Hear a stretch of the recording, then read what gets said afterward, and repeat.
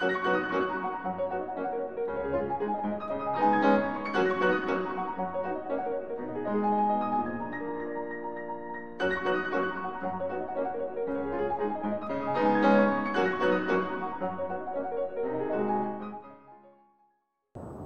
good morning to all. Um, today's schedule is as given.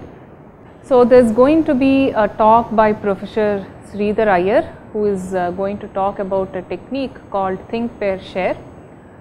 Uh, I will get into the details of it after the talk, but please do pay attention to the talk because there is going to be an activity based on the talk. Basically, you need to create a think pair share resource based on what he has uh, told. So, let the talk get started. I will get back to you after the talk. I am uh, Sridhar Iyer, one of the faculty in uh, Department of Computer Science. Also work with the interdisciplinary program on education technology, which is a four-year-old uh, department at IIT. For about 10 years, I worked in the area of networking and had about five PhD students do their theses in networking. And over the past three years, I have stopped doing networking and do mostly education technology nowadays. So what I am going to be talking about in today's session is one strategy of how to get students engaged in the classroom and how to get them also learn better. Okay? So this strategy is called think pair share. Before we get into it, so let's ask the question that when we talk about MOOCs and you know, uh, blended classrooms, we have this idea of creating videos and we'll put out videos, we'll take an excellent instructor and um, record their videos. Before I get on with it, how many people were also coordinators for the CS 101 uh, workshop two weeks ago? Okay, so this part, the initial little part is going to be the same for you as well as uh, from that course. Okay, so what, we, what was done was an experiment saying that suppose let's see how much difference really does uh, the quality of the video or the quality of the, the way the instructor creates the video matter. Okay. So what happened in this experiment was two video lectures were created. In one case the instructor spoke very well, looked at the camera, did the delivery properly, had perfect diction and all of that. Okay. In the other case the instructor was kind of slouching and you know looking here and mumbling and you know creating the video in a not so professional manner. Okay. And what people wanted to see is does the instructor's delivery, how much does the instructor's delivery, how well the instructor is delivering the lecture, how much does it matter towards student learning? Okay. So what would you expect? The one who has delivered it very well, that person's students are going to learn better, right? That's what we would expect. It turns out that when they measured the learning using a test, they found that even though the expectation was very different, right? People expected that in the case of the fluent video, students would learn a lot and in the case of the disfluent video, the students would learn very little. Actually speaking, there was no difference in the amount of learning that happened. Okay. So what does that tell us? It basically tells us that simply improving the fluency of lectures does not necessarily imply better learning. Okay, so as teachers, we are always focused on improving our own delivery. We are always focused on saying, okay, I need to, I didn't do a good job of explaining that part, I need to improve that part, isn't it? We all do that. So, what the point that this experiment makes is that instead of focusing on our own delivery so much, we need to start focusing on what makes the student learn better. So change from instructor centric way of teaching learning to a student centric way of teaching learning. So then we ask the question that suppose I have excellent video and I have interaction. Okay, there is a local instructor who is doing the interaction and I am going to do an interactive classroom. Okay, where students are free to ask questions, I will ask questions, I will interact with the students. Okay, is this good enough? Yes? Okay, so by and large, once again we feel that yes, this is good enough. Okay, if just the video is not good enough, maybe I'll add some interaction with the students to bring them into the classroom, make them pay attention. It turns out that this is necessary, but it's not sufficient. Okay, why is it not sufficient? It's not sufficient because primary reason is that students don't pay utmost attention okay usually we are the ones who are most thrilled with our lectures right we are always thinking that i am doing a great job. Everybody is listening to me. Even now you know every time even however much we are aware i really don't know what's going on over there in people's minds. You know somebody is thinking about breakfast somebody is thinking about how the gandhinagar mein the bus took a turn and all those things. Right? So it's not entirely nobody is really paying as much attention to me as i think people are paying. That's the key. Okay. The second reason is students think that they know the topic because they are able to follow the lectures. This is often a major drawback of excellent lecturing. Because the lecturer has such a command on the subject and is able to give a fantastic lecture, the student who is sitting there and listening, he thinks that okay, I understood everything because the explanation was very good. So the misconceptions that they have or the points which they have not understood, they are confronted with that only much later. Okay? Later being in the exam. Okay, and that's why as instructors we often feel that I did such a great job of teaching but still these fellows are not able to score marks in my exam. Okay, that's where that feeling comes from.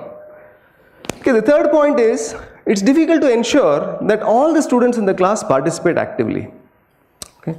So students with high motivation levels will drive the pace, right? Often you find that in your class you will see that there will be those four students in the first two, three rows who will keep on asking questions, who will keep on saying something or the other and before we know it, we are responding to those guys and the rest of the class gets left behind.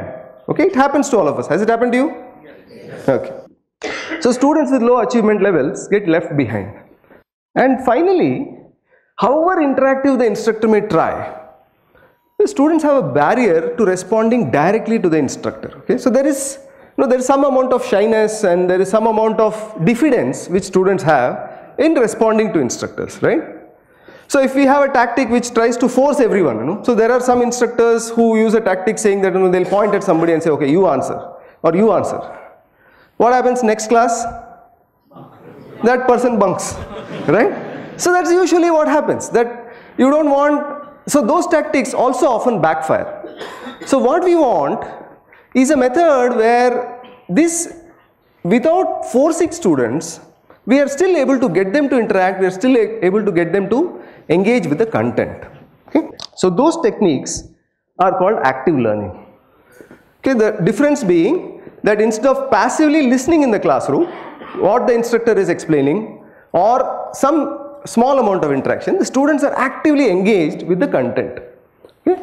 So getting students to talk, write, reflect and express their thinking. Okay, many of the times we do this in our classroom. We do it informally so there are some requirements for a strategy to qualify as an active learning strategy. One is that the instructor has to pre-plan and create these activities. Students go beyond listening, copying notes and so on. And the last two points are that these strategies are explicitly based on theories of learning. Okay, it's not a strategy which is like, okay, I think that will work. I think this is what I should do. It's based on a theory of learning saying, okay, this is the structure of how students motivation works, this is the structure of how memory works and then the strategy is created so that we can address it appropriately. And many of these strategies are evaluated repeatedly through empirical research. Okay, so this broad area is called active learning strategies. Okay, so before I go on to talk about actual strategies, I need to convince you that it's even worth listening to this guy, right? So okay, all this active learning is fine. Is there really a benefit? So there were there was a very large experiment that was conducted. Okay, so this experiment involved 6,500 students across 62 courses across a variety of institutions and they had a test which is called the force concept inventory which is a standardized test for one topic in physics and what they measured was how much do students score on this test in various instructors classrooms. Okay. So what you find is that what is being calculated is something called gain. Okay. Gain means how much did the student know before versus how much does the student know after. Okay. So everybody knows something about force right from their school days. So how much did they learn, how much did they gain as a result of the, the classes. Okay. And it turns out that the maximum gain from lecture courses was 0.28, okay, which is somewhere around here. Okay, all these red bars.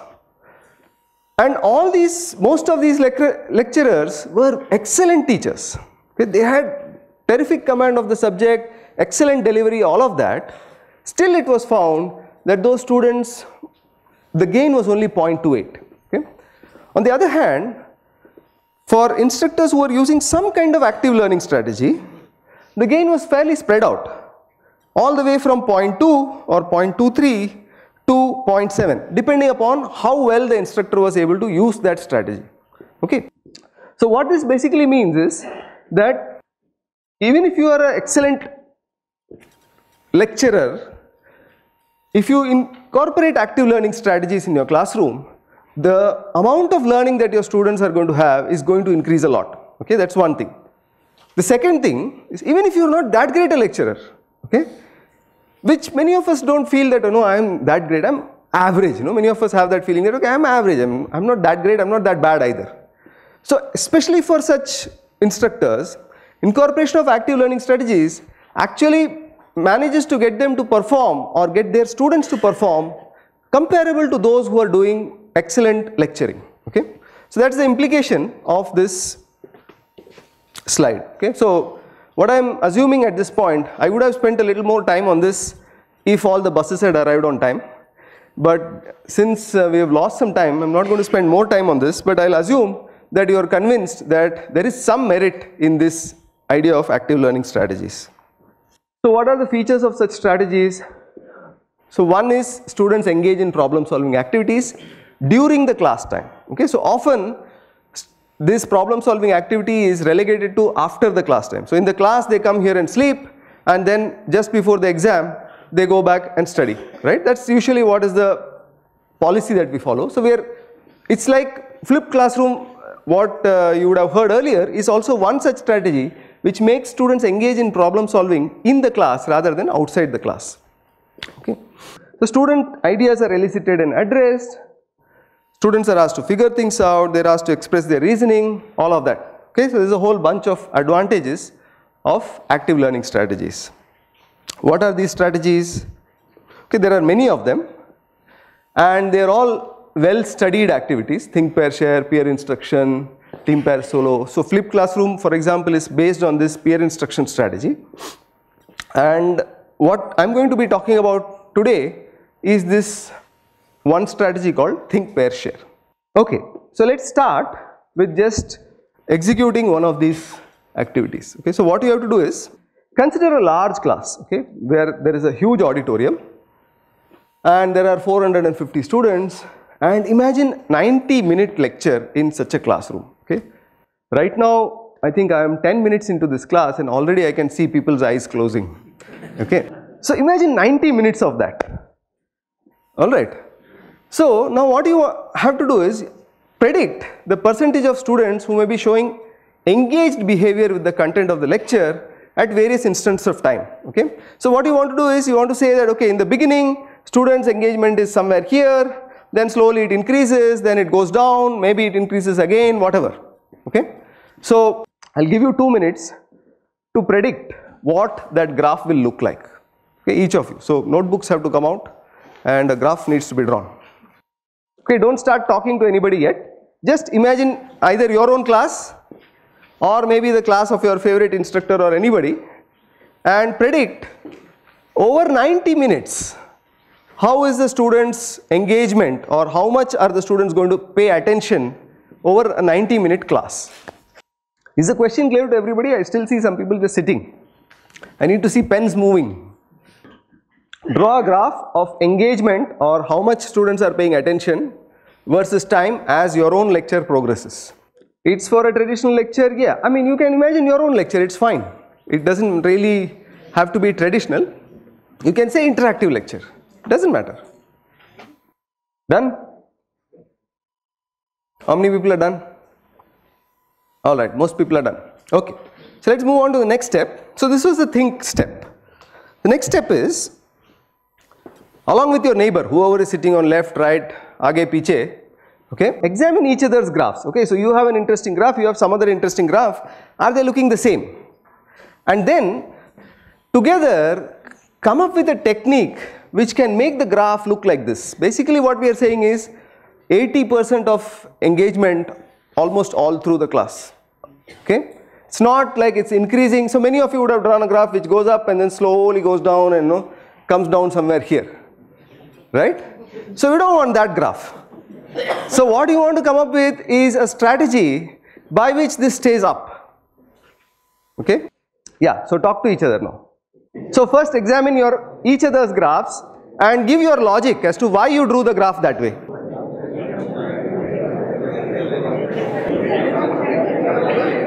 All right, I guess most of you would have thought of some ways. So let me do one thing. Let me write down your ideas. Okay. So something like that at a regular interval of some time so that uh, they'll be reactivated. Okay. Quiz after every 20 minutes. Yeah, then uh, at the mid of the class, I can uh, discuss something out of the subject. So what we'll do is we'll make a list of these strategies and then we'll examine if that will help us to sustain the engagement. Okay, it can bring engagement. Can it sustain? That's the question we'll ask later. Okay, so uh, as and when I'm putting up strategies, if you have a strategy which is different from what is already being put up, then respond. Yeah. Real time examples. Real time examples or real life examples. Okay. Asking questions to students. Uh, after uh, doing some uh, board work, uh, roaming throughout the classroom. Roaming throughout the classroom. Sir, every 15 minutes, I'll do some uh, funny things to wake up a sleeping student. Such as what? Some jokes, Okay, jokes. yeah, real-time jokes, and uh, they Dance, right? okay. Huh. Hello. real life examples with activity based learning. Uh, activity based learning is just a term. So, what do you mean by that? Real life Engaging the examples already there. Actually show that activity. Okay. Ask the students to come up and engage that. It will take around five, five to 10 minutes to show actually that uh, example. Okay. And second is peer share after quiz. What is that? Peer share, let us allow the student to discuss on some topic for 5 minutes, 7 minutes, then make a quiz for that. Okay. Peer share after quizzing. Okay. Then, anybody else? So, Somebody from this side, yeah. uh, so by specifying the previous year questions also. Specify. sh- Okay. So, specifying previous year's question, do you think it will bring engagement in the class or they'll think that, okay, I've got last year's questions, I'll just go away? Huh, go ahead. share short stories Huh? share short stories Share stories. I found it uh, interesting in my classroom that when I got, then after every 10 minutes, I say loudly, break. Then every student is find interesting and released from my talk. And I will not definitely give break for 5 minutes, but after 2 minutes, I will again start my cut. But when the word break is heard, they are released. Okay, everybody is waiting for that word break. Good one. yeah. Learning by demonstration. What does that mean? Suppose we can demo Huh. uh, the concepts, Huh. those we have explained, Okay. just up uh, inside the classroom itself. Okay. Demo, showing demos of concepts explained. Yeah. animations kind of so Yeah. Demos and animations. Yeah. animations Yeah. Go ahead. uh, refreshing youtube videos Yeah. Demo of concepts explained, uh, animations, videos. Okay. Uh, last two more. Role play. Okay. How will you do role play in computer networking?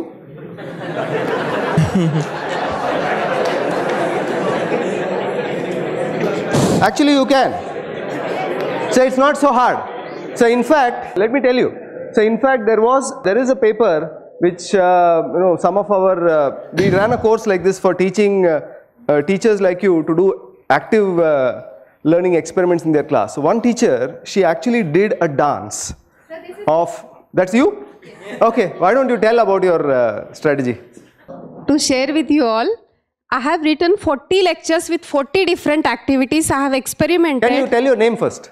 Myself, Bhavna Ambedkar from Padma Shri Dr. D.Y. Patil Institute, Pimpri, Pune. I have done for all the subject contents, all 40 lectures with interactive sessions.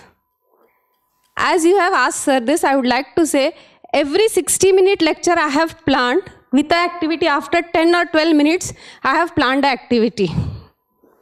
This book is called as Faculty Resource Guide and which is released by Wipro Mission 10X. Okay.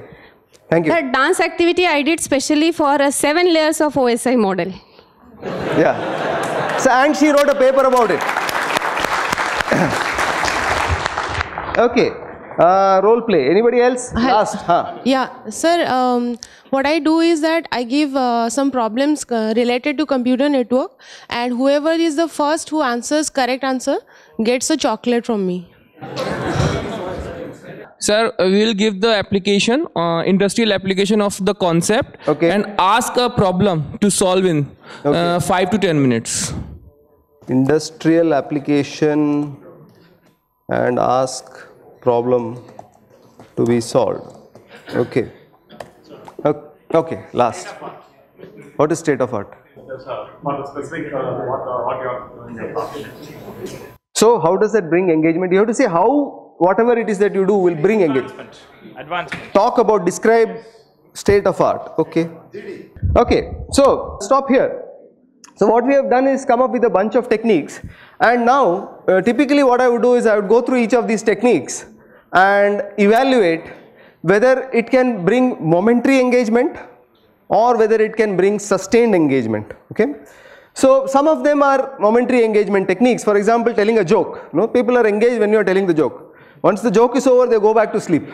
Okay. So some of them can do sustained engagement also. Like for example quiz after every 20 minutes. But then on the other hand will they come back for the next class? That's the question you need to ask yourself. Okay. So many of these things are there. I'm not going to do that today again because of lack of time. What we'll do instead is move on and try to write some these some of these activities for networking. Okay so the third one is to create a combined list of techniques. That's the share phase. And discuss the pros and cons of each technique. We have not really done that thoroughly. Let me move on to talking about what is TPS okay what is this think pair share? So what we just did is called think pair share. Okay? So there are three phases. First phase what did you do?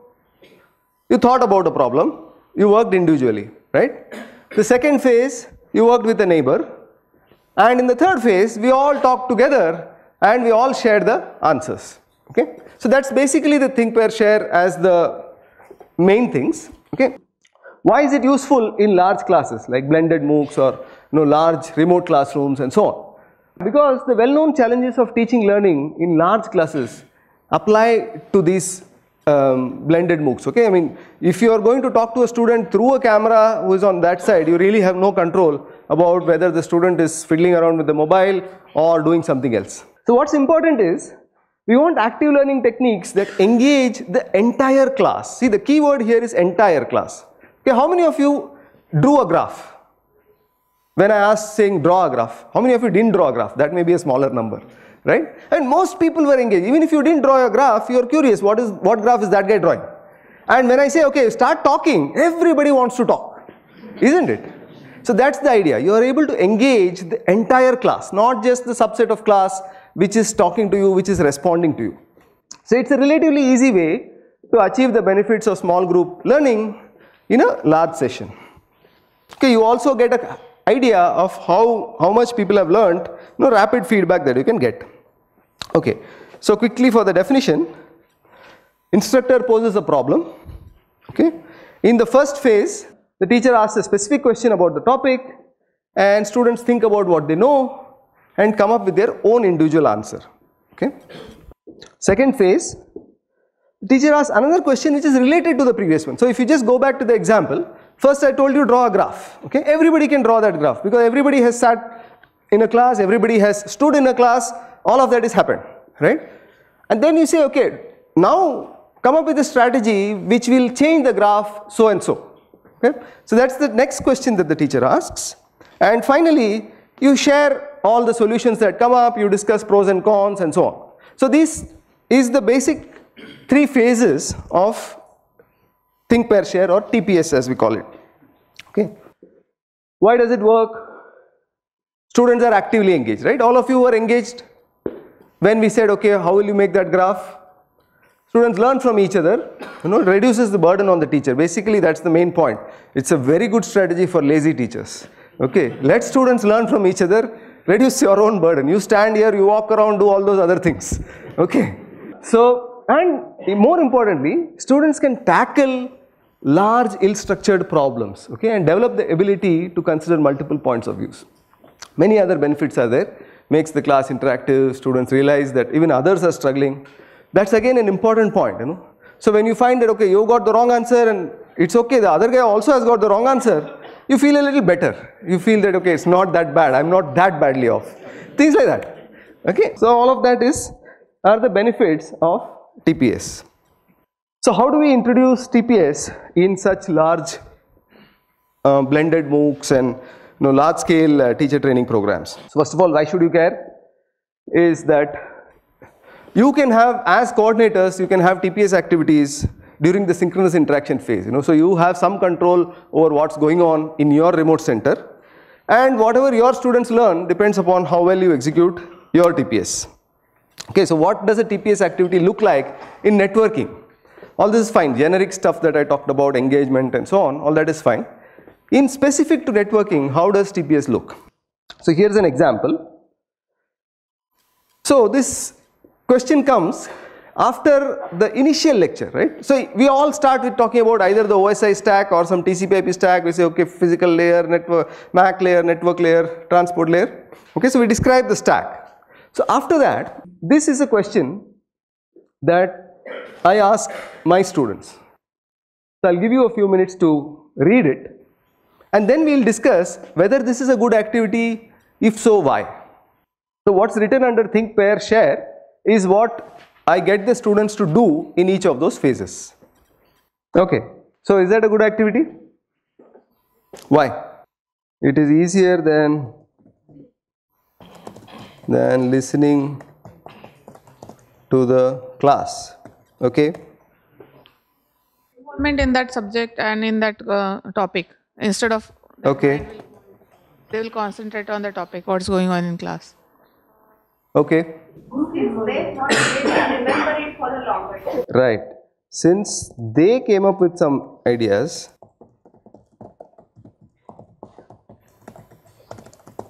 they'll remember it for a longer time, right? I mean, you often have ownership to something that you come up with, right? I might tell you, okay, layering has its advantages, modularity, abstraction, this, that. Yeah, all those are just words if I tell you. But if you identify that, look, because of layering, I'm getting this advantage, that is going to stick with you. That's the point. Yeah. They can extend their knowledge. They can extend their knowledge, okay. So let's come to specifics. So these are some of the broad advantages which are true for any TPS activity. So what we are asking is why is this specific activity like technical activity good? Why is it good to ask them to write one reason for and one reason against layering? So we will get a different answer. Okay. You will get different answers from different students. Yeah. Some amount of self-learning will happen. Okay. So that again I'm going to put up put it in the category of uh, general advantages of TPS. Okay. Specific to this question. Again that's generic.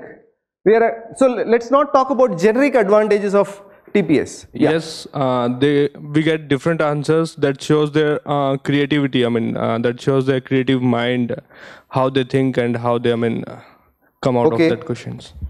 Creativity is again here. So what I'm looking for are specific answers. Okay. Now, from this exercise, students can know where we apply the layers, Hmm. how can we use these layers, where we do not apply particular thing uh, due to the advantage and disadvantages, and know actually what the what the need of knowing the layers. Okay, so this is so the, I, I'm looking for answers of this type. Okay, which is very specific to what we have put up. So one example is by discussing, students know when not to use layers. Typically, we try to say this is always a good idea. But there are instances when it's not a good idea. Let them think about it. When not to use layers. Okay, anybody else? Yeah. exploration of the domain and then uh, by sharing it will uh, grow up uh, for all the students Okay, so I'm going to put that also in the generic advantages. Okay, specifics. Let's get into specifics. Visual realization. Visual what? Realization. Of? So whatever the things happening, there'll be visual realization of the data, whatever things happening there. Um, okay, layers, I don't know. Okay, visual, let me write it anyway. Okay, anybody else? Huh. They are also made to think about others' ideas. Okay, think about others' ideas on layering. Okay, I mean, it's like I might feel that this is good. It's like choosing a political party, right? I mean, you might have one choice, somebody else might have another choice, and then you have to have a debate. Basically, the activity encourages debate, and debate improves understanding. Huh. Sir, by giving one answer against and for the motion, they'll get to know another 10 uh, advantages and disadvantages of the layers, Yeah. of the layering concept. right? Because I come up with one, 10 is a little far fetched because 10, I don't know whether we'll be able to, because most of them will be similar, right? I mean, I, I'll come up with one advantage and disadvantage, you will come up with one. There may be a bunch of five or six such answers. Yeah, last one. Actually, each layer is a different layer level of abstraction. Though they'll understand what is the good in having the interaction among the abstraction and what difficulties can it be, and they can apply it in any other strategy also. Let it be object orientation or anything. So Okay, it makes them understand the interaction. okay. So I'll stop with that. Huh. Requirements of new layer or removal of existing layers. Okay, they can talk about, discuss introducing new layers or remove existing ones. Okay, so that's again, we are getting them to engage deeply with the content. Yeah. individually they are able to only solve the some part of the task and by collectively eh, eh, collectively as an entire team all layers they will be to solve the whole problem of that that area Okay, so individually they can only do small amount, collectively they can do a lot, which I'll again put it in the uh, generic advantages. Okay.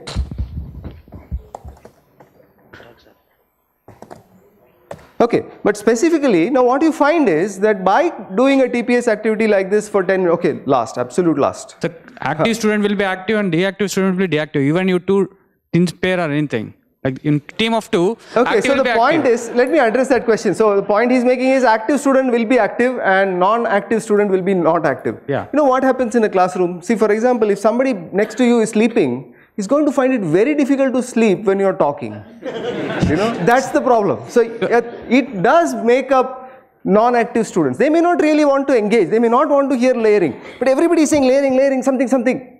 Okay, this fellow is eventually going to pay attention to say, what are these fellows talking about? Uh, it may be a It tune for it uh, may a tune for sleeping. Yeah. So we are not trying, okay, one thing we must remember, we are not trying for 100% at any point, okay. If you are able to carry 80% of your class, you are doing great as an instructor, okay. Because typically you are carrying 20%. So when 20% you are going to 80%, don't attempt 100% because that's killer, okay. So now coming back to this, if you look at layering, what we have done is, typically however good a lecture I might have given, I would have just said a few things, right? I would have transmitted, that's called the information transmission model. I would have transmitted some information about layering. And the student may have thought that, okay, I understood it. That may have taken 10 minutes. Now in the same 10 minutes, what you are achieving is they are engaging with the content, they are coming up with ideas and it has been shown that they would have learnt more deeply than through an excellent lecture, okay. That's the point about carrying out activities in this manner. So total time of this activity is about 25 minutes, okay, actually I've got it wrong. So it should not be 10 minutes for the pair phase, never mind. Okay. So moving on, let's see about writing an activity ourselves. So now assume that you have finished with the network layer and now you're starting to talk about reliable transport and so on, okay.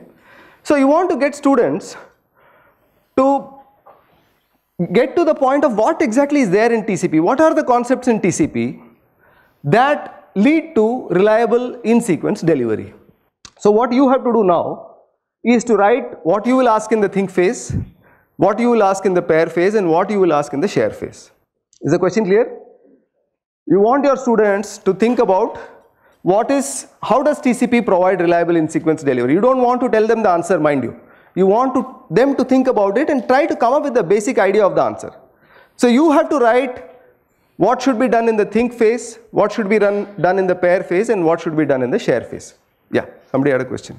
if we have uh, we are supposed to teach uh, whatever we are having technical knowledge we are not teaching them literature We are supposed to uplift them technically. So in this way, we have lost 25 minutes, which were crucially important for us to deliver more and more technical information to them. And those things which we, we can provide them in making tough assignments also. Okay, so the question is, have we lost the 20 minutes that we did on layering? So just go back to thinking about the layering example. Okay, I did not tell you about layering. I made you do this vague activity. What is at the end of it? Did you learn or did you not learn? The chances are that you have learned. Okay, so that is the point. So I'm not saying that do your entire class in this manner. That is wrong. Okay, but having one or two such activities in a one hour class not only helps engagement but will also in increase learning. Okay, I'll show you some data later on as to why it actually works. But the key idea is that the fact that when we think that okay I have to transmit information, I have to tell them something technical, that is a misconception because they are not listening. Sir, my point of view is that these all type of activity can be done only in the tutorial. If we are doing these type of activity in our normal classes, then in some way we are disturbing the other classes also. And if we are we are going to take all these type of activity, making joke, making dance, discussing something, this simply means that we are not technically prepared so well. Well, this Sir, is a sir, lot of your, uh, you know, you're treading on very Sir, thin ice are- here. Just a minute. you know? Student, students are so smart, they can easily understand today what the teacher is coming with what energy level and how many minutes he will teach perfectly. If we are making jokes, मैंने simple सी एक बात कही आज गर्मी बहुत है. It means I totally spoil my lecture. If I so simply discuss that कल IPL में कौन जीत गया? Students are very smart. They even know that today is, there is no mood of teacher to teach anything more. So I am not advocating telling jokes of that sort, first of all, okay? Second of all, I am not advocating use these strategies because you are ill prepared. You have to be more than well prepared in order to execute such strategies well in your classroom. Otherwise, there will be utter chaos, okay? The third thing is about the noise factor. See, there is going to be noise in your class. Your class is going to look different from other classes. There's no doubt. The point is to show to your colleagues how much learning is happening. Get your colleagues also to have noisy classes. That's what we want to get at. Okay, so let's come back to track. I'll take more of these general TPS benefits and disadvantages type of questions at the end. Let's first write one activity. Okay, so this is the question. What you want your students to do is to guide them towards discovering how does TP, TCP provide reliable in-sequence delivery. Okay. So you need to write what is there in the think phase, what is there in the pair phase and what is there in the share phase. And there is no single correct answer over here. So don't have to wait for that single correct answer to appear. You can do this as groups. I mean you don't have to just come up with it on your own. So you can discuss with your neighbor and just together come up with what you are going to do in the various phases. So in each phase you have to write what will you ask the student to do, okay, not the answer. For example, you may say in the think phase, you might write a question like, how will you ensure that I know whether a packet is lost or not? Something like that. So that, that kind of questions is what you want to write down. Why reliability? Why is reliability important? Sure. Yeah, yeah I'll, I'll note it down. Just I'll give you a few minutes to finish writing. Because you uh, concept. So Just just hold on. Let's not go into sharing till people are done. Okay, I am ready to note down. Who wants to go first? Yeah. Uh, if you are starting from the scratch, then uh, give some non-technical question which relates to TCP, TCP uh, reliability, uh, reliability like uh, in sequence reliability. So, for example, in Think, you can uh, ask them to uh, write advantages and disadvantages of registered post and simple post. So, how they uh, they will come up with solutions like uh, uh, uh, they will pair up with students, okay. other students, and come with the solutions. Okay. Advantages and disadvantages of Pair phase. Wait, wait, let him finish. Pair phase. In a pair phase, they will uh, share advantages and disadvantages of, I mean, with the nearby students. Okay. Yeah, they will come up with what are the uh, uh, what uh, what are the pros and cons. Hmm. And the share, they will share again. The all, all, all students will share their solutions. Okay. So what? Will, How will this achieve the objective of getting them to understand? Acknowledgement is there Hmm. in the registered post, while in the simple, I mean, uh, we don't have any acknowledgement. Okay, So great. that is the point. Okay. Next. Somebody started speaking there. First, we'll ask them what is in sequence delivery. In the thinking stage. Okay. Then in the pairing stage, uh, let them discuss if it is out of sequence, Hmm. What could be the pros and cons, and why this in sequence is required. Okay. And another could be the like, um, what is reliability in delivering the data? Reliability. Okay. Okay. I'll come to discussing each of them. Let me write down a few. Yeah. Uh, think how to establish the connection and who will be involved in that. Okay. Connection and termination and who will be involved in that. Pairing stage. Hmm. Discuss how actually the data will be transmitted and what will be the intermediate parties they will be involved for actually data transmission or loss. Okay. And the sharing stage, discussing all about the advantages of reliable and unreliable transmission by Okay. taking an example of Okay. Uh, first, we have to uh, know what, what is TCP, end-to-end, uh, responsible for end-to-end communication in thinking phases. Then pair, we have to. No, no. What is the question? What is it that you'll ask them to do? Uh, uh, what is reliable? Reliability. Okay, that's the question you'll ask them to answer. Uh, Okay. Then in pair, Hmm. uh, what is sequence numbering? Hmm. Then share uh, about uh, how to use sequence number to achieve reliability. Okay. during the pairing time we, to, we are supposed to give an activity based question so i'll ask somebody that you have been given five chocolates with sequence number 1 to 5 now you are supposed to deliver it to the last guy through your friends write down the protocol for that Okay.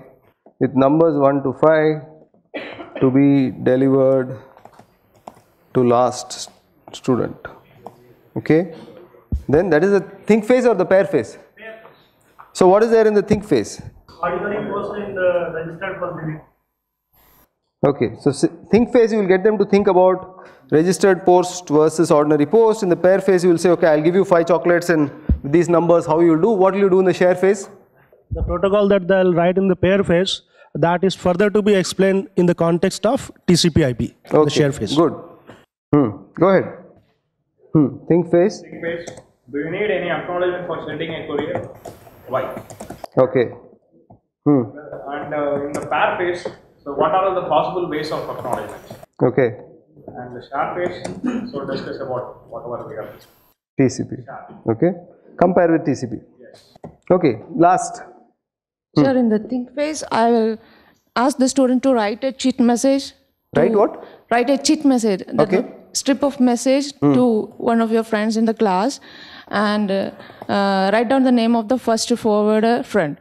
And in the sh- pair phase, I will ask them to find out the route uh, f- uh, through which the cheat message is forwarded and relate it to computer networks.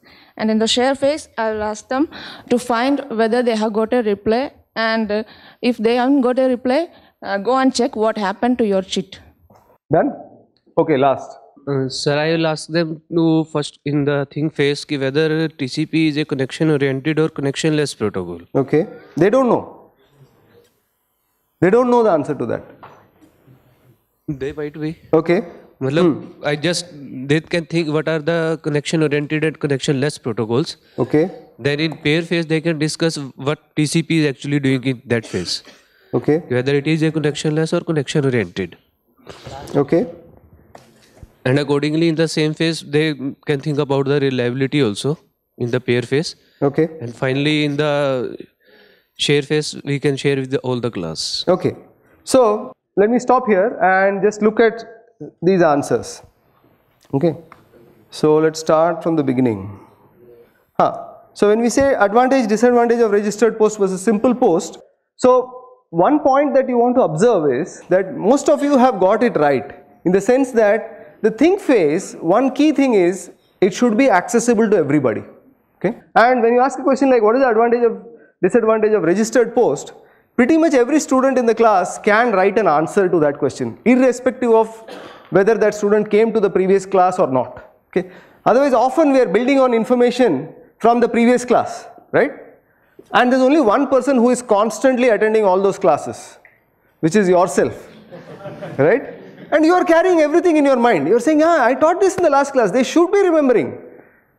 50% of them were not there in your last class. And the other 50% were doing something else. So that assumption that they should remember what I taught them in the last class is invalid. Okay. So when we write something like this in the think phase, which is accessible to everybody, person who has come to that class for the first time after a while also can attempt that question. That is a key thing to keep in mind about that. Okay. Then um, let's take the next one. See here for example, the next one is you start with saying okay what is in sequence delivery. Maybe they write some answer. And the pair phase is building neatly on what the think phase has done. You're saying that okay now what to do if the packet is out of sequence. In sequence delivery means 1, 2, 3, 4, 5 all of them are going to reach at the other end as 1, 2, 3, 4, 5. And then as a pair that is something again which every student is able to answer. Then the pair question makes it slightly more challenging saying that okay suppose packet number 3 is lost. What will you do? What is the protocol that you will set up to ensure that packet number 3 is retransmitted? Okay. So the pair starts building on what they have already answered in the think phase. Okay, similar, the third one is also similar. No reliability sequence numbering, registered post. Okay, so let me also comment upon. Yeah, so this one which talks about ACK for courier, why are ACKs required, what are the possible ways of acknowledgement. That again is a good question because some of them may think of negative acknowledgements to begin with. They may say that, okay, I'll use a negative NACK based protocol. Okay, then you can get into the advantages of ACK versus NACK uh, based protocols. Okay, let me talk about this one. Uh, write a chit to your friend, find the root of the chit message and look at what happened to your chit. This is a good TPS activity, but not for this problem. Okay, so it's a good TPS activity for routing. It's not, so that is again something that you want to keep in mind saying what is your goal? Your goal is to get them to think about TCP's two, three main ideas. Okay, what are the main ideas that you want them to think about? We want to say, okay, put sequence numbers. We want to say, okay, have acknowledgements. We want to say, have retransmission. These are the three main ideas that you want them to acquire before you dive into the details of how these are done. Okay. So this particular um, TPS activity will actually get them off into thinking about routing and what happens if there are different routes and so on. Okay. So coming back, let's see what was the activity that I had in my class. Okay, so this was the activity that I had given saying that TCP is a transport layer protocol that guarantees reliable in sequence delivery. Suppose you have to design a TCP like protocol. Okay, so TPS, think pair share, is an excellent mechanism for tackling design problems. You know, see, there is no single correct answer. TCP happens to be that way because that's the way it has evolved. I mean, it's not like mathematical law that TCP should work that way. Okay, so it's it's good to get your student to go through that process of inventing a protocol. So this is what my uh, students did. Okay, so they write down the features that you will provide in your protocol to include reliable delivery. So moment you say reliable delivery, they are going to think of acknowledgements. Okay, the moment you say in sequence delivery, they are going to say some numbering. Okay, and that is accessible to every student. They don't have to know anything about networking to say those two answers. Okay, and then they say that okay, discuss your features with your neighbor and come up with one protocol. Show through an example how your protocol will handle a lost packet. That's the pair phase. And in the share phase, you compare your solution with the specific actions of TCP. So in my class, what happens is a lot of argument happens in the share phase because each of these students has invented a protocol. And because he has invented a protocol, he wants to know why this is not there in TCP, why my idea is not there in TCP. So they'll not let me progress and they'll keep on saying that okay but why is TCP doing that, why it's not doing this. So a lot of discussion gets generated and that actually answers your question that a lot of technical material gets covered because of these questions that come in the share phase. Okay, so this is one example and I think I'm almost out of time, I'm at 10.30. So there are a whole bunch of examples which I've included in the slides, okay. So here's another example about layering. Somebody had mentioned that we can use layering to uh, use the same concept elsewhere in object oriented and so on. So this is an example which gets them to think about the concept of layering, where all can you find it, okay. So you can go through this slide later on which explicitly says what the student should do, what the instructor should do and all. Then there's another example about Wi-Fi, where we talk about why should, why does Wi-Fi use collision avoidance instead of collision detection? Okay, getting students to discover the idea of why RTS CTS packets are required. Then there is an example on addressing, getting them to understand about subnetting and another example of how headers are attached, how headers are removed and so on. So what I am trying to illustrate through these slides, I don't expect you to read all of it now, but I do expect you to read it later on. Okay, but what I am trying to illustrate is depending upon your goal, is your goal detailing, is your goal conceptual understanding, is your goal protocol design, depending upon your goal, you can tweak the TPS activity so that that particular goal is met. Okay, so once again you have, uh, what is this one? Okay, yeah, this is about setting the retransmission timeout, right? How do you do the uh, exponential averaging filter in order to get the RTO values? Okay. Okay. So now let me quickly summarize by saying how much difference does TPS make. So these are some experiments that we conducted not in a networking class but in a programming class which is the CS 101 class which is taught to 450 students. Okay. And this actually answers many of the questions about what happens if I don't deliver technical material to the students. So what we did was we came up with a protocol. So there was a bunch of PhD students who were sitting in different areas of the classroom and they were observing the students periodically. So in a 10 second interval they would observe every student three times okay and that was the observation protocol. So we observed a total of 13 TPS activities across the semester and we found that 83% of the students on an average are mostly or fully engaged okay by actual observation. And we also found that when we asked a survey to the students that did you benefit from this think phase, what was your benefit from the pair phase and so on, again their self-perception of engagement matched with our measurements. Okay. The second thing that we did was that, I mean this was the same doubt in our minds, no? that am I wasting my lecture time, pre precious lecture time which I should be telling them something. Okay, so that is actually the misconception. The precious lecture time is for discussion. What they should do is watch the video outside. The video is already there, you watch it outside, come to class and discuss. That's where the learning happens. Okay, what we were trying to see is how much learning happens. So we had a controlled experiment. So there was one group, I had two sections. So in one section it so happened that I didn't do the TPS and by the time I, it was time for the lecture for the next section, the idea for the TPS activity had struck me. So naturally it turned out to be a controlled design. And it turns out that the experimental group which learns a concept via a TPS activity, okay, even though all these drawbacks like you mentioned that it might appear that the TPS is no instructor is ill prepared or no discussion is going all over the place even though all those things appear to be so the group which learned via the TPS activity actually performed significantly better with a moderate to high effect size than the control group okay and the student self perception of learning is also high and yeah, I mean, these are the papers in which these results have appeared. Both of them are fairly uh, top level conferences in uh, computing education. So basically that's our evidence for why the technique works. Okay. So let me summarize. So there is a TPS activity constructor sheet. So if you are interested, if you have got some buy-in into the idea, there is a sheet which you can download which uh, I have not asked him to print and bring, but you can simply download and uh, use it, which will have guidelines and steps whereby you can create your own activity. So there are three points to keep in mind. Can you guess what these three points are? Point number one. Huh? हाँ think pair share तीन phase है okay that's true as a designer of a TPS activity what's point number one that I should keep in mind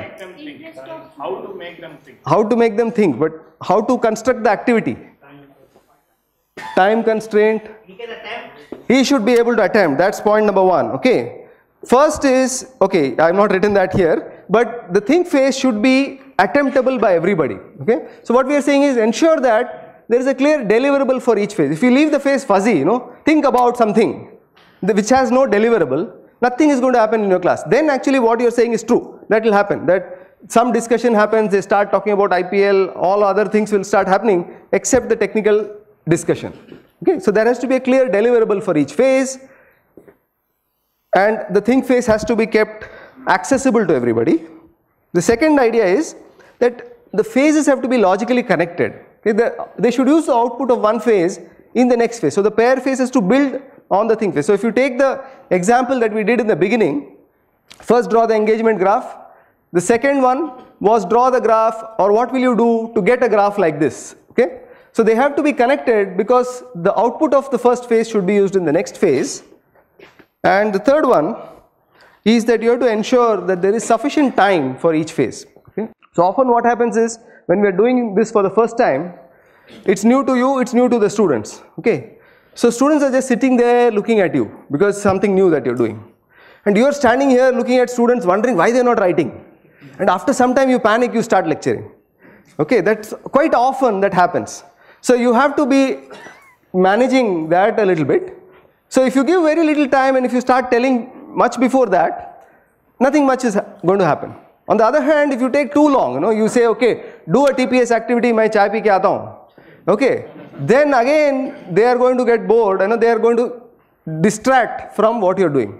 So the idea is you should move on when 80% of the class has finished that particular activity. Okay, so now I'll take open questions. Back to, yeah. Uh, a course will have, let's say, 50 to 60 concepts to cover if you Hmm. are kind of uh, segregating. And uh, from the looks of it, each activity, especially if you're talking about protocol design kind of a thing, is more or less like some of the things 20 I have seen. I would say it'll, especially if you're dealing with a larger, if it's a UG class here with a hundred student, whatever, even if you break it into 30, 40 student tutorial uh, sessions, I think that phase itself will easily take 30 minutes, 40 Okay. to 30 minutes, let's say. Um, so it looks like you could at most test maybe some 10 concepts or rather cover material related to 10 concepts, which is better than actually doing uh, no co- uh, nothing. But uh, when there were 60 concepts, you're just making them kind of better. Okay, and so the I just uh, so. Okay, so let is me there respond. Anything else you could do for the other? Yeah, so the point is the TPS is not the only strategy. Okay, so for some of the concepts, TPS is a good strategy where you want this discussion to happen. Okay, so the other peer instruction strategy, for example, where there is a single correct answer, you could use the peer instruction strategy over there. And the point is, you can pick and choose between these activities. You know, if there are 40 concepts, you say, okay, these 10 concepts, I want everybody to be able to have a good grip of. Only those 10 I'm going to do using TPS. The others, I might simply just go ahead and do a open group activity or you know do something without doing an extremely formal TPS. You could go ahead and do. Okay. The one thing that I have found is that even though it takes time, it covers technical material at a level which which like somebody mentioned this because the students are coming up with their ideas they have great deal of buy-in so in one class let me give you an example so in one class it was about um, queuing okay? WFQ and all of that i had to do. So it was a one and a half hour class. I thought i had prepared for a two hour class. And because i had done it using the tps mode the class got done in one hour you know, and there were like complex ideas which students were finding out instead of my having to tell them. So that is a plus point which actually outweighs some of these how much time does it take? So you have to be on your toes if you allow a 30 minute or a 20 minute discussion to become a 40 minute discussion you have lost 20 minutes of your class so you have to be on your toes to say when to bring it back Sir, yeah can TPS be applied for all the subjects? Can TPS be applied for all the subjects that I don't know? It can be applied for a large number of engineering and um, CS uh, type of subjects. More, more than that, what type of questions is it amenable to? Okay, it's amenable to questions where there is this notion of multiple correct answers. Okay, when you want students, so for example, if you want to teach students sorting algorithms, okay, the multiple sorting algorithms are there. Okay, one way of teaching sorting algorithms is to go one by one. Say that, okay, this is insertion sort, this is this sort, this is that sort, so on and so forth, and bore them to death. Okay, the other way of doing it is give them a problem, saying that, okay, you need to sort these things. Come up with your own mechanism of sorting. Each of them will come up with one of them. At the end of the day, all you have to do, do is give names. You have to say, okay, what you did is actually called insertion sort, what you did is actually called selection sort and so on. Okay, so that way they can get exposure. So when there are multiple correct answers, it's a good way of. Hello, sir. Yeah, go ahead. Uh, totally, I am now confused. Which technique I have to follow? Because previously we are following CLM method, creative learning methodology. I thought that that was a good teaching methodology. Now, previous class after attending this workshop, madam thought about the flipping class. That was also good. And today you are teaching about uh, TPS. This is also good. And I don't know which technique has to follow. Okay, so this is a good question actually. See, that's the whole point. There are many techniques. Okay, so if you say that, okay, I went to a buffet, there were many things, I got confused about what to eat. Okay, it's, it's at that level. So there are many techniques. You have to now choose what works for that problem. So like I just answered, flipped classroom is good when you want students to see the content offline and engage in the classroom. Okay, often it's combined with peer instruction where you have a set of multiple choice questions on which students vote, then they discuss and then they vote again. Okay, so that is the peer instruction method is more suitable when you want them to know the correct answer. Okay, so suppose you want to make, for example, suppose you are doing some bandwidth calculation. Okay, so you put the problem, you say, okay, what will be the answer? You give four choices. Let students vote and then have them discuss why you thought this is the answer, why I thought that's the answer. And then let them vote again. So when there are single correct answers, peer instruction is the, is the technique to use. When you want them to learn how to design something, TPS is the technique to use. The third technique, I don't know what exactly it is meant by creative, whatever you said in the beginning. Okay, I don't know the details of that, so I can't answer for that. Yeah. Uh, please don't mind, sir. Uh, you are getting students and we are getting customers. And our shopkeeper is always keeping watch on us that what kind of activities you are doing in class. So what is your suggestion for this? Okay, so my suggestion for that is if you get your customers to buy your product, your shopkeeper will be happy.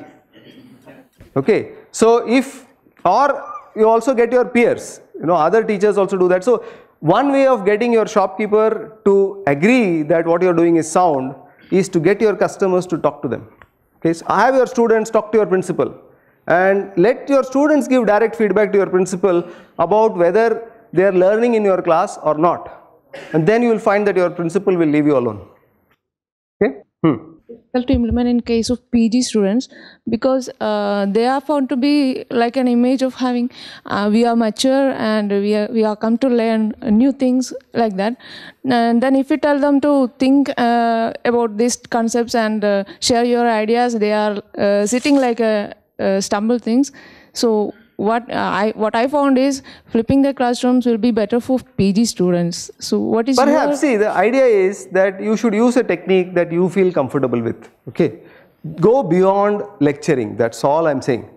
Okay, use a technique that you are comfortable with. So TPS also even in a PG class or you know take this class. This is bigger than a PG class. Okay, there are bigger egos involved here but still people did their things. Okay, still everybody executed. So it depends upon how you execute, right? So, and initial, there will be some initial uh, hesitation. People say, what is this? She is making me do this, write something on the paper and so on and so forth. But after one or two classes, you will find that they automatically do that. So in my class, after the first two or three classes, I don't have to say what they should do in the think phase. The moment I say think, all notebooks come out, they start writing. Okay? All right, thank you. Uh, but one thing he wanted me um, so that uh, you get involved in this TPS activity, he wanted you to spend the next half an hour, 45 minutes on constructing a TPS resource. So we have put up the constructor, the TPS constructor sheet on your uh, Google Drive as well as it is available via AView as well. So you can see this constructor sheet that is here. It says uh, think phase, pair phase, share phase and it also gives additional information on um, some examples specific to CS 101 which is programming, uh, course on programming. But uh, the slides also, the slides which uh, currently Sridhar has used in giving the talk have also been put up on the Google Drive as well as shared with you via AView. and the slides have a lot of computer network specific uh, examples. So the task ahead of you is for you to at any remote center form groups of 3 or 4, sit together, discuss, go through the examples and come up with an example of think pair share like your uh, that as indicated in this constructor sheet. Um, so the idea is for you to do this activity, there is a Moodle link set up for submission of assignments specific to this think pair share activity. Uh, one per group. So uh, if you are uh, doing this activity in a group of four, not all have to submit, just one person per group can submit the assignment on the Moodle uh, link and uh, I hope all of you have the Moodle access. It's once you log in, uh, it's there at the very front page. It specifies the date today. Um, you just have to click on it and submit the assignment. The link is open till uh, evening. Uh, so it's not that uh, you finish the assignment, the typing and everything can happen when you go to the lab in the afternoon. So it's not that uh, you have to go to the lab, upload it right away you finish the thinking, you jot down whatever goes in each of the phases. Later in the afternoon when you have computer access, you can upload this particular assignment. So you uh, upload basically a document, uh, a doc, doc or .txt, whatever works for you, which will have these three phases, which is the think phase, pair phase and the share phase. So those uh, um, white boxes that you see. Those are the three things that I would like uh, to see in that report that you are going to upload. So what Sridhar will do is he will go randomly through some of these submissions and discuss them in tomorrow's uh, talk apart from other stuff he wishes to share. So I'll quickly take maybe a few questions specific to this activity. Uh, good morning ma'am. Good morning. Ma'am, I just want to uh, say that uh, as we are always planning our lectures and we have the main focus on completing the syllabus on time and if we plan an activity like which all we were discussing and hearing, how can we keep a track of the time? So we'll be uh, deviating from the time doing an activity, fine? So maybe the students who are able to cope up, they will be able to do it. But the students who are not at all interactive in the class, what can we do for them? Okay. Even if we make them in a group of two, so that is a concern, how to deal with those students? Okay, so as I said, uh, time is definitely something you have to really plan properly. So one thing that I have noticed, so one possible way of uh, conducting this is, uh, I mean I mentioned in my talk as well, there is a flipped classroom mode where students watch videos for 2 hours outside class hours and then there is a 1 hour face to face. So this 1 hour face to face, uh, let's say you may have 10 such hours spread over your semester. You could use maybe uh, 5 hours for some think pair share activities, some 5 hours, maybe 2 3 hours for that peer instruction activities, maybe some 2 hours for demo kind of activity, whatever it is you want. So there is something that you are covering outside uh, class hours and then within the class hour you are going to split it. So you have to choose what activity you want to do during the class hours. So one thing that I have noticed is when I have done traditional class uh, setting versus this flipped classroom setting where everything is recorded, I found that I could cover more material through the flipped class mainly because see in a classroom setting whatever I cover uh, which is a one hour uh, traditional classroom, whatever I cover in the class gets packed into just 20 minutes of lecture through a video. That's because there are no interruptions of any kind, I, uh, pauses are also kind of removed. Uh, it's a very compacted uh, thing. So what I have found is uh, when I use the videos and since there are no fixed hours, students also watch them at different times during the week, they also don't feel the load. Normally in a traditional classroom setting, I cover 3 hours of lecture, but when I pack it into a video, I actually give them the roughly the equivalent of 5 hours of lecture and they don't make out the difference because they are doing only 10 minutes at a time or 20 minutes at a time spread throughout the week. So you can definitely pack in your syllabus through the videos and make them watch outside the class hours. That way you are assured that you are covering the syllabus and whatever is the remaining time you have which is the 10 hours that you have which is the tutorial over spread over a semester, you use that to reinforce some of the things that you have covered through either think, pair, share or any other learning activity in the class. Does that help? Man, that's very true. But the issue is, suppose the student does not watch the video. At least when you are teaching the class, you are able to ask a question and make him active.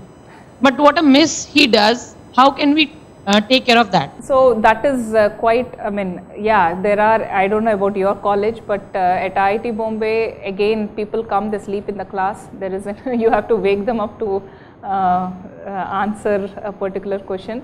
Uh, that way I felt flipped classroom is again better because everyone gets to answer the question. But that said, definitely I mentioned this uh, earlier also, it's very important that students watch the videos before they come to the tutorial or the face-to-face session. The one way to do it is to have quizzes every uh, tutorial session. By quizzes, I am not talking about very tough quizzes. If they have watched the video, they should be able to answer. It's like straight, fill in the blank, multiple choice, kind of very simple uh, things. If they watch it, they get it. And you give 10% of the grade to this, and 10% is not that small that they can ignore, and it's something that can they can very easily score also. Because if they just watch it, they'll get 10% of the grade.